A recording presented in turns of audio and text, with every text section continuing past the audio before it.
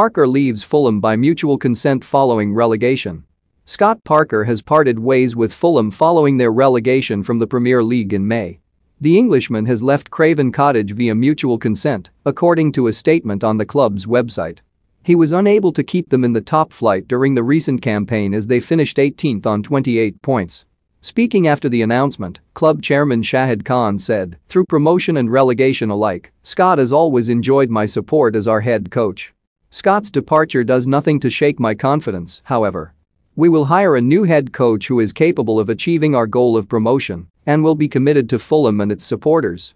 And we will field a squad that will respond, compete and win. Onward. Parker became caretaker boss in February 2019 after the sacking of Claudio Ranieri. The Cottagers were ultimately relegated to the championship that season by finishing in 19th place. He enjoyed more success during his first full season in charge. Fulham achieved an immediate return to the Prem by defeating Brentford 2-1 in the playoff final, having finished fourth during the regular campaign. However, their relegation woes continued yet again in 2020-21, and they're now back to square one. Parker's departure contradicts his previous claims that he would remain committed to Fulham for the foreseeable future.